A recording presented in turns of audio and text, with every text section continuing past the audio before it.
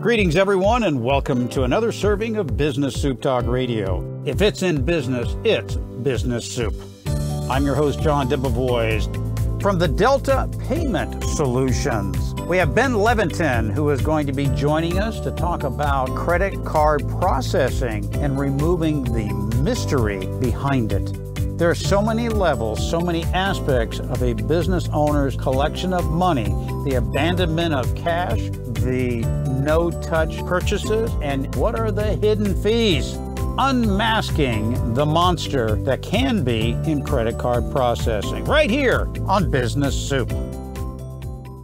Ben, welcome to this serving of Business Soup.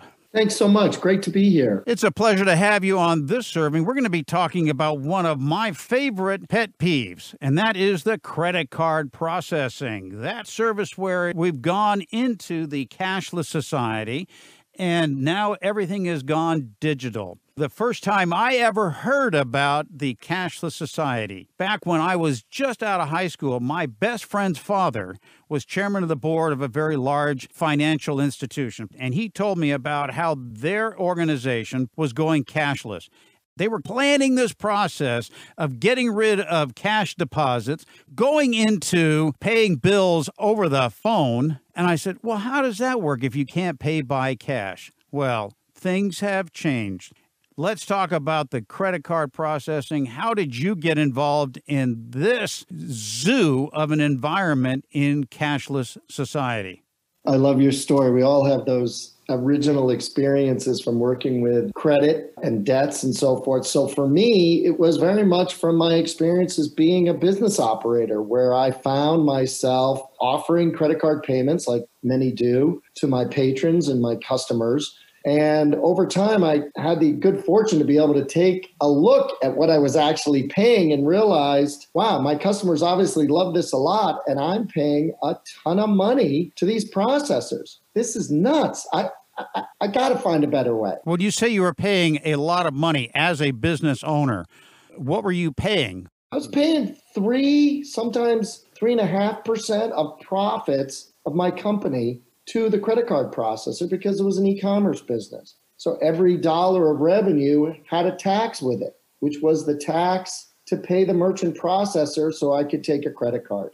And of course, the merchant processor charges you on the gross ticket. Correct. In my experience, I used to have service stations and a truck stop, and I would collect a credit card. And this goes back in the day when we had the mechanical swipers, and you had to check what looked like a small version of a phone book with microscopic print, and you had to check to see if that credit card was bad. But back then, you had the process and it was a 3%, but they charged you on tax on tax. Yep. Because I had fuel tax, sales tax, and I was charged 3% of that money as well. Well, those historical practices have definitely changed, but the fundamental challenge you mentioned, the looking at the you know the teeny tiny font to figure out whether that was a legitimate card or not.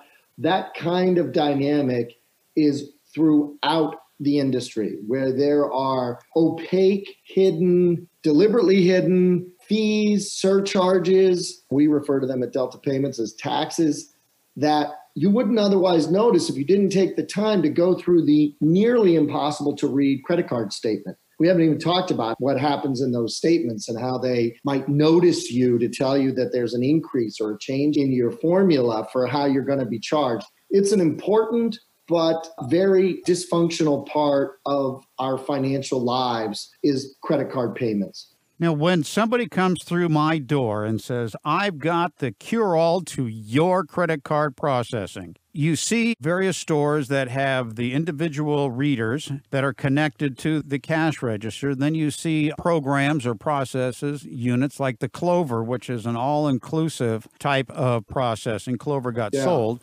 so you have all of these different ones and they come in the door and say i have the cure all what should i be looking for what first question should i be asking that processor why do i want to do business with you many businesses welcome the all-in-one solution because it gives them software to run their company i can think of an organization like toast a right. terrific organization and they have an all-in-one approach So we'll give you uh, ways for you to deal with ordering. We'll give you menus. Uh, they might even give you ancillary services, but you have to agree to work on their processing network. And what that forces you to do is certainly get some benefit, which you pay for, but it also forces you into a box in terms of how they're going to evaluate and ultimately charge you for the use of their credit card system. And what that really means is that you don't really get an opportunity to get a tailor-made solution.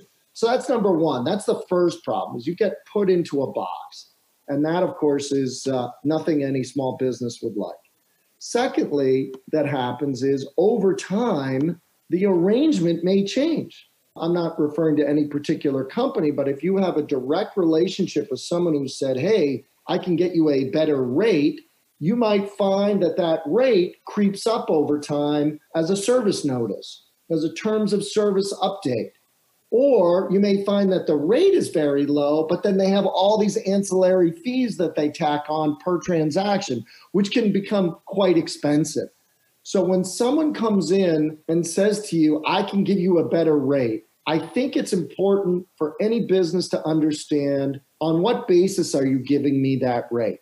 And how does my company stack up versus the other companies that you might be offering that rate? Because my business is different. I might have, as many restaurants, for example, have now primarily a takeaway business right now, a takeaway for uh, eating at home. Right, curbside or pickup, yeah. And other businesses might have you calling in they might take their orders over the phone. Those are very different kinds of transactions. One is referred to as high risk, which is a label that the industry puts on transactions where the card is not present in front of the merchant. So they don't have the opportunity, like you did, John, to look at the card and figure right. out is this a, a valid payment method? They call that the wet signature. The wet signature. That's right. There you go.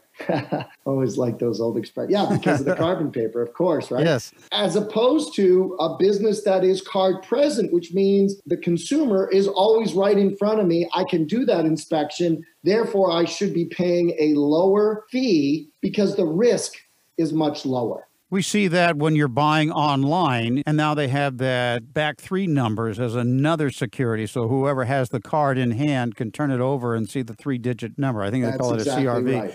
And so there's all these systems to ensure that the person with the card is submitting that. But as you pointed out, there are different levels of fees, whether it be the so called wet signature. Are you in possession of that card when you swipe it, or are you not in possession? If you don't mind, John, it actually goes further because if your typical profile is that your basket size or your average ticket is $25 versus your average ticket size is $300, they'll put a different rate on that as well. Even though a dollar is a dollar, last that's what my father taught me, a dollar is a dollar. It doesn't get counted the same way by the processors in their risk management process. And along that line, a company that comes in the door and says, I have a better rate for you, well, that may be at a particular transaction amount. What is your average transaction and how many transactions per month are you looking at having? And then that rate may be a teaser. It's only good if you have like 10 transactions under $30 a month.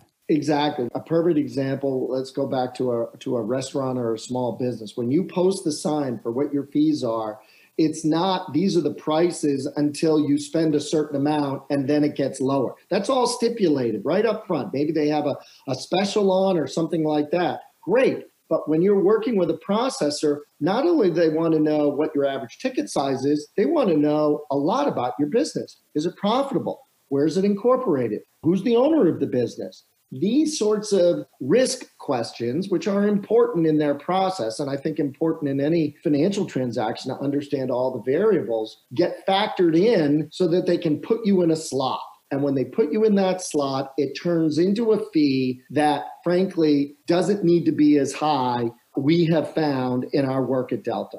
So they put you into this box, and as long as you stay within that box, correct, then your fees are commensurate with that arrangement. But what happens when you go out of the box? I'm sure there's a provision for a separate and more improved fee structure. Oh, there's always an opportunity for a separate and more improved fee structure. Unfortunately, it's not tailored to you. And I, I, just, since we're all wrestling with how we grow our businesses in the age of, of COVID, let me just give you a small example of what we're seeing in our business. Many online businesses are growing very quickly now, yes. much more quickly than they were pre COVID, because particularly if they're an online business, customers are flocking to them because they don't get in their car or, or travel to visit a shop. As a result, they're growing so fast and the processors are very risk averse, very risk averse. As a result, we're seeing, unless we manage accounts for our customers, for our members in the co op, they might be shut down by the processor. Even though they're growing well, even though it's the same profile of the business, the growth rate has exceeded, as you call it, the box that they've been put in, and they don't quite understand it, and they're worried, very worried, that the merchant might be doing something nefarious, illegal. And so rather than taking the time to engage with that merchant after they gave them that rate that you talked about, they just shut them down. Because of their service and offering, they're experiencing a surge and all of a sudden the, the processor just looks in the pattern of the data that's flowing across doesn't make any phone calls and just decides hey you know what john?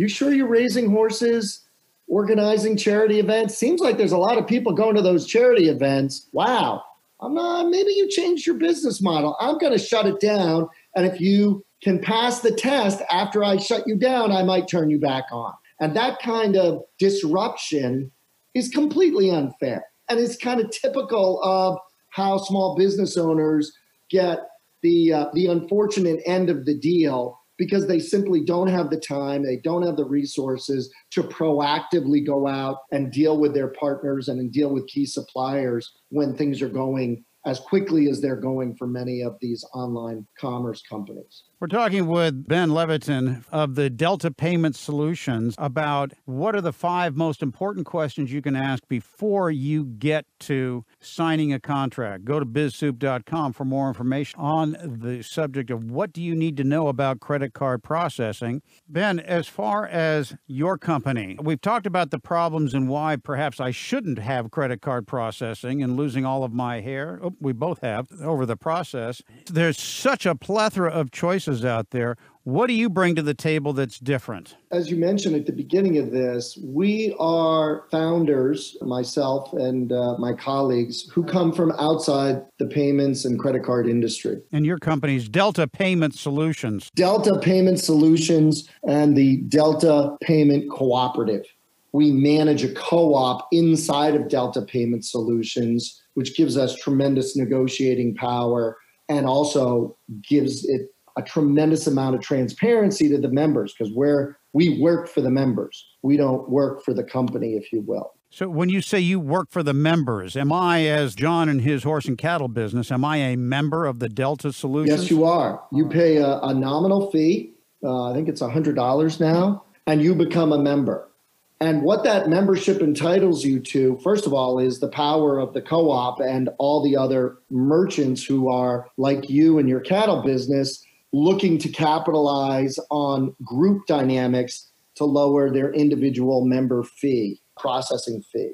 Second thing you get is a rebate. Well, hang on. Let's back up for a moment. So you say it's a co-op. So are am I to understand as a member that you are going to put together the best solution for my credit card processing through multiple opportunities, not pigeonholed into or put into a box of one processor I'm looking at is from a co op, that would be the opportunity to, to, be able to be shown a variety of choices and how they would fit into my business. Very well said. So, what we do is we take your profile of your cattle business. This is something that's very different and not done in the industry at all. And we look out to our processors. We probably have nine or 10 at this point that we have qualified, that we've explained our model to, that are ready to respond as we bring interesting businesses to their attention, like your business, John.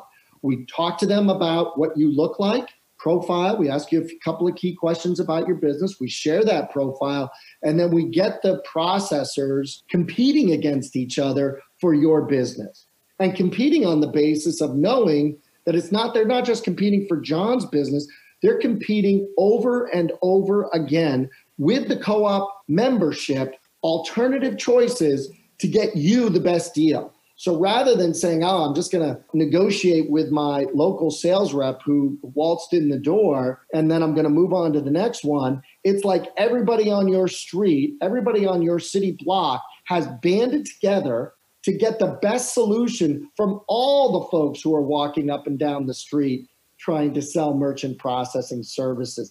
That gives us a unique opportunity to serve the needs that you care about most, John lower cost, better service, and to keep that in play as time goes along. So, as a member of part of this co op, I can basically do a, an a la carte. I need this service for my business, or I have a different service, a different business, and I need that type of service, and I can bring it under one umbrella. I often talk about you don't have to reinvent the wheel, you just have to know how to put a spoke in it and make it turn better, faster, smoother.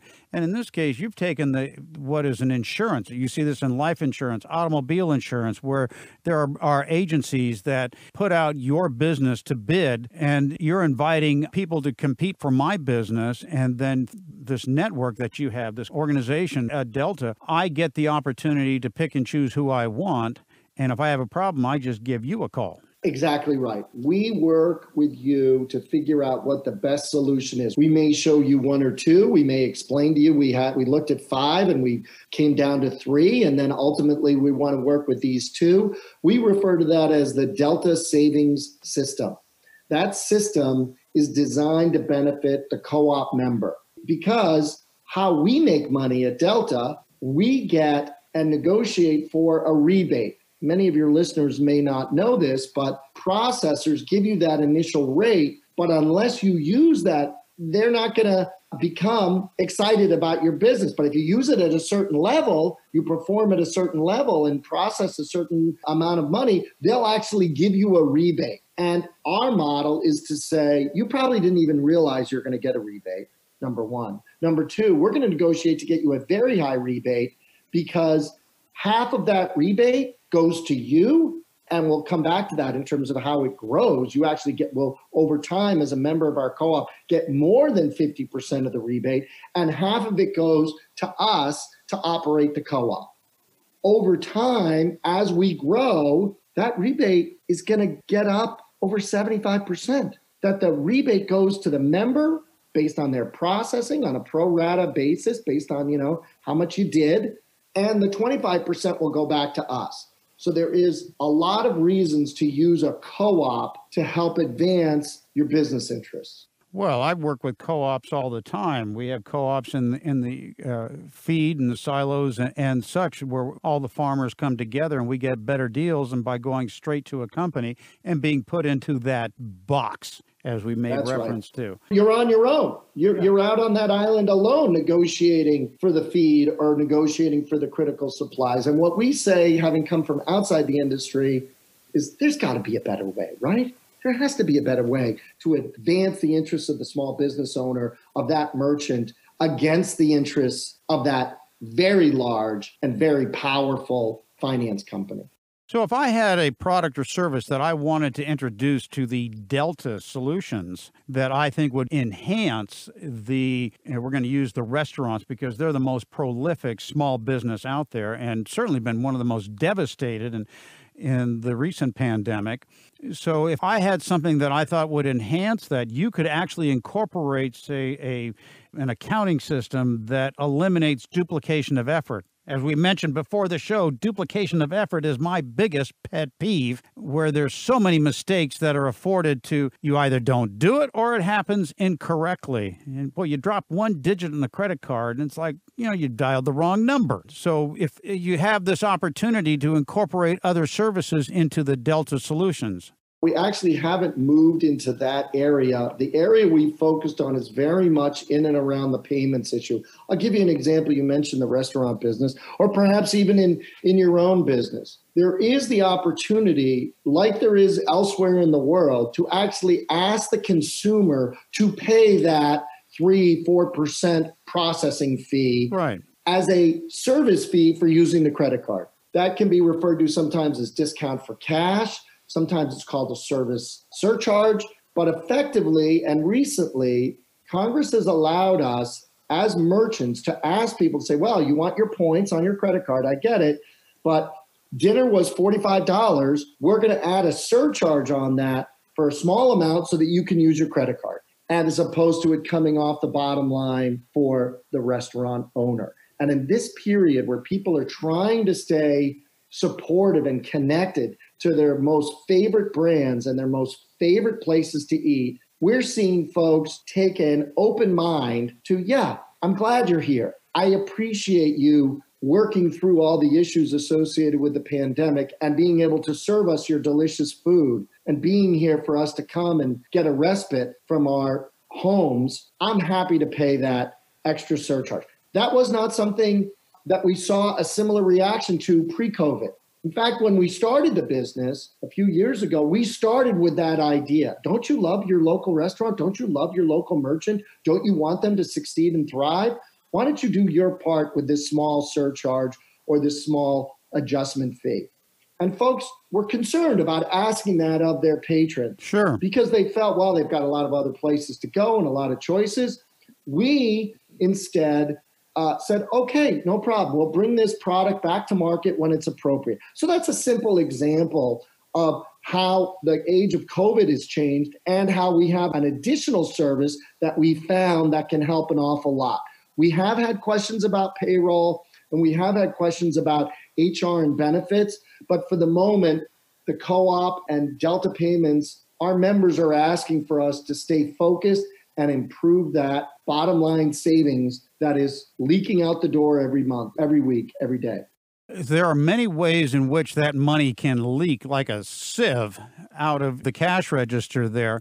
What are some of the other ways in which money gets sucked out of the cash register that employees might do or if the, if something doesn't something doesn't go right, how can my employees avoid making that mistake or me too? Well, you know, you make an excellent point about employees with their best effort trying to process something, get the patron out of the restaurant, free up that seat so they can turn it. What we see now is much more of an emphasis on making sure that the product that was delivered, the customer is satisfied with. One of the big areas, not so much for restaurants, but for other merchants, is what are referred to as chargebacks. Customer right. calls up and said, I didn't get what I paid for. I'm not paying this bill. And for you as a merchant, that comes back onto you. Right. And so, one of the most important things, and we all know this from our business lives, is give the customer what they wanted, what they were offered, what they paid for. So, one of the big areas we see is reducing chargebacks and lowering the opportunity for repayment for what is claimed to be a product that wasn't served. The other area where, inter- interestingly enough, we're seeing people tighten up is on payables on the other side of the shop, which is go back to a restaurant. I served all my, my patrons, and now I have to go and pay my suppliers, to pay the electric bill. I have to pay my food supplier. I have to pay employees. We're seeing ways of changing that actually, first of all, to cashless. Cashless helps an awful lot in this, John, as you know. Yes creates a lot of other challenges. Well, and cash is very expensive to handle. We have to expensive. count it. It has to be supervised. You have to take it to the bank, and you look at the casinos. Look what they spend to have that money monitored and such. So cash is not so much king anymore. It's not so much king anymore, and that's for the reasons you just identified. First of all, it's dirty, and in the age of COVID, people don't want to touch potentially dirty things. But moreover, you have to remember to have the cash on you, right? You have to remember to have the cash accessible when you need to pay it. And then the merchant has to count it. And hopefully the amount they counted is actually what it gets deposited in the bank and doesn't somehow uh, incur any kind of breakage, as we like to say. Or, you know, shortage of the cash drawer. Shortage of the cash drawer. That's a age old uh, uh, uh, label. Right. Exactly. But on the payment side, what we're seeing people say is, look, I'm not going to pay you cash. I'm not going to write you a check in 90 days, which is, you know, standard payment term. I'll give you a credit card minus two and a half percent now. Do you want your cash now? And what that does is it actually lowers the cost by a couple of percentage points, and you end up making money by paying your bills, or said another way, reducing the bills you're paying. So that's another thing we're seeing is extreme attention to the velocity of cash when it comes in, but how it goes out. That's where it can go out pretty quickly. Is managing that cash flow in such a way that you can actually reduce your costs. Very exciting new development in this field of using credit cards to pay vendors and pay bills. Single use credit cards, virtual and otherwise. And they're not going to send you a plastic bill, they're going to give you a code. It's pretty darn exciting. And this is part of the co op and what you guys from the outside are bringing in from your experience into a co op, into what you're calling the Delta Payment Solutions. Just not a processor, but a, a, means by which, and I like this, for other companies to bid for your business and then be able to pick and choose those services that you want and then deal with you guys if I have a problem. That issue of service and of being a monitor on your account is what we offer our customers. And you know, we're not the only ones that say when you work with us, we're going to watch what you do. But what's different with our company is is if we help improve your situation, we don't lose money, we make money because we earn when you earn as a co-op member. Right. That's our model. There's no upfront fee. There's no, oh, I can, you know, we'll do a bunch of work and we ask for a commitment because we're negotiating on their behalf to get this better rate and to get this better set of fees and to get this better service. But we win when our members win. That's the power of the co op. We're talking with Ben Levitan of the Delta Payment Solutions. And again, it's one of my favorite subjects in the credit card processing because it's always changing. And I see so many services of no fees if you sign up. There are accounting services that if you go with this company, you get this accounting service. Are those worthwhile? Am I looking at a commitment? They are worthwhile, but you've got to understand a couple of things. Is this a teaser rate? Is there a methodology to how long this rate applies. What happens if my business changes and starts growing very quick? What happens if my business has experiences a downturn and we're not profitable for a period of time? How do you notify me when there is a fee change? What else is underneath the fee besides the rate? Are there transaction fees? Are there special additional fees that get added on. Sometimes you see some things around oh, yeah. security and so forth. And all of a sudden, you've got this dog's breakfast of fees, which ends up being, you know, unacceptably high. And I think the last and most important point you were talking about, John, is who do I call when I have a problem? I appreciate you being here, offering me this rate or calling me on the phone and having this rate. What happens when there's a problem? because we know as business owners there's always a problem there's always an issue that that needs to be addressed do i have a supportive do you guys have my back or right. are you just trying to push this on me and our model as i've said is you join a co-op we have your back you're a member of a co-op we work for the co-op we get paid effectively by the proceeds that we create for the co-op and those fees as a percentage are going to go down over time and you're going to get more and more of it. It's in our interest to grow. It's in your interest to have us grow. And it's very difficult when they come through the door and they say, I've got the best rate, and you're speaking with the salesperson and they're trying to get you to change. Oftentimes, there is a fee if you cancel on that equipment and you have to pay for the lease of that equipment. The guy selling you, the woman selling you the your new and improved service doesn't tell you about the cancellations on that contract. That is probably the, the question I, I, I should have come to, which is what happens if I decide to cancel? They may have sold you at a exorbitant fee, that little device. There may be cancellation charges.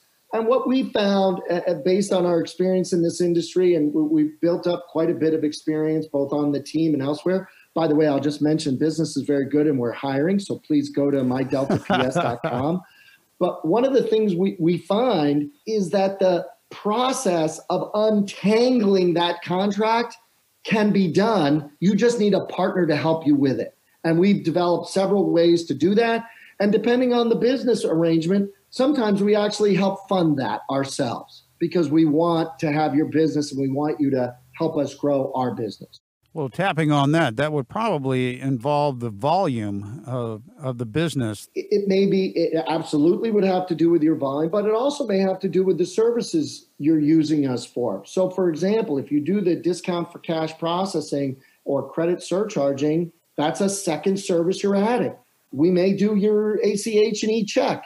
Perfectly okay. reasonable. We do that all the time. Happy to do that. It's another service we're adding. And and you may, you know, you may even look to us for the accounts payable. And over time, you may find you want to expand into other areas and we'll be there for you. So we're looking to build a forward momentum in the relationship based on our shared interests. And our interests are very transparent. It is the definition of what is Delta. It's a core value we talked about from the moment we started the business we want to be transparent as opposed to that traditional hide and seek you have to do as a business owner to find out what you're actually paying for something. We think that's reprehensible and we will never support that kind of mindset. Ben, your background, you've got qu- quite a diverse background. It goes back into security issues. What about security in the transactions? Is, is all of this being done in a cloud environment? And how is it being secured? For not only my own business interests, but my customers as well? That's a terrific question. We qualify, first of all, yes, it is being done typically on a network in the cloud, as it's referred to today. Right. We qualify all of our processors for their security protocols. It's one of the important things we do before we even would put a processor or a partner in front of one of our co op members. That's number one. Number two, we look very carefully at the gateways. Oftentimes, there is an interaction between the point of sale system, whether it's a proprietary or, or, or not, and the actual payment network. So in our work, we allow for what's called peer-to-peer encryption between our gateway, our our front door into the network and that network. So everything travels as we process on an encrypted basis. The second thing is we can also support secure EMV processing, the chip, right? The new uh, slower acting but more secure chip. All of our customers are supported in that way. And then I would just say, lastly, we have um, an ongoing process that we do to review any updates they might have and any news they might have in what they're doing in securing their network, whether it be through penetration testing, which is sort of the classic way that these networks are, te- are tested. You hire some people who try and hack back the network, and we're very much connected to that. Well, you have a rather extensive background in security, so it, I imagine it's pretty hard to hack past you. Um, l- let, let's just say that among the things we care the most about is securing our customers' transactions. And yes, I have a very uh, extensive cybersecurity background, both as an investor and as an operator of businesses. It's an important area, and it's certainly an important area that our processors look to us to understand what we're doing ourselves with our own business being secure. So you've come to the right place if you want to talk about cybersecurity. And if you'd like to know more about what we're talking about, Ben's got quite the resume. You can go to Biz Soup, where this show is accessible, the show notes, the links, and on the five points on what you need to know about credit card processing, all available at the one source for business. That's Biz Soup, where we serve it up each and every day. Ben, I could go on for a lot longer on this, as well as your other interests and business ventures and angel and, and VC, but we'll have to save that for another time and welcome you back. Ben, thanks for being on this serving of Business Soup. Thanks very much, John. This has been another serving of Business Soup, where business comes for business. I'm John DeBevoise, inviting you to visit the website for more servings of what is best in business. This show has been produced by Market Domination LLC. To discover how you can have your own show completely done for you and turn it into a real published book and become the authority in your marketplace, go to www.marketdominationllc.com